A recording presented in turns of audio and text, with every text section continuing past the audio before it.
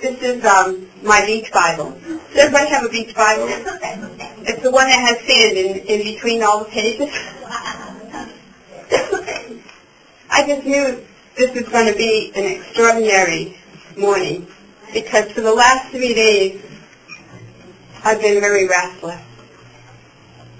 And I've had a meditation that was going on over and over in my mind. And part of it was thinking about being adopted. You know, there is a spirit of adoption. We are adopted.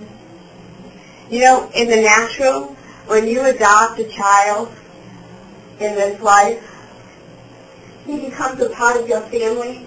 He becomes your child.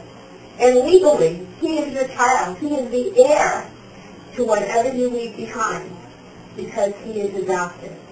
We are all adopted. The Lord was showing me one more thing. We are not only adopted, we are, but we are grafted into the vine. Hallelujah, we get his DNA. You got what I'm saying? When we adopt children, yeah, do they have our DNA? When we are grafted into the vine of Christ, we have his DNA. We are truly a child of God.